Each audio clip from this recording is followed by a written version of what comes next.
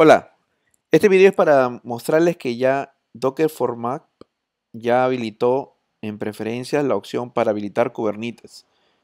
Cuando habiliten Kubernetes, eh, también te va a instalar el kubectl si no lo tenías. Y si lo, y si lo tenías, vas a tener que ejecutar este comando para que veas que ya, aparte del minikube, tienes la opción para cambiar a Docker for Desktop.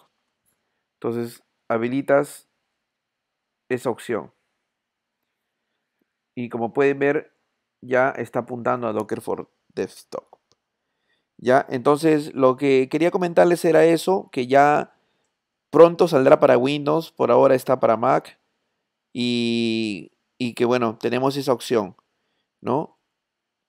Lo, documento para que lo tengan presente, voy a probar eh, la aplicación que estuvimos viendo en Minikube para también desplegarlo aquí y en el siguiente video les voy a mostrar si ya todo funciona bien también bajo este contexto.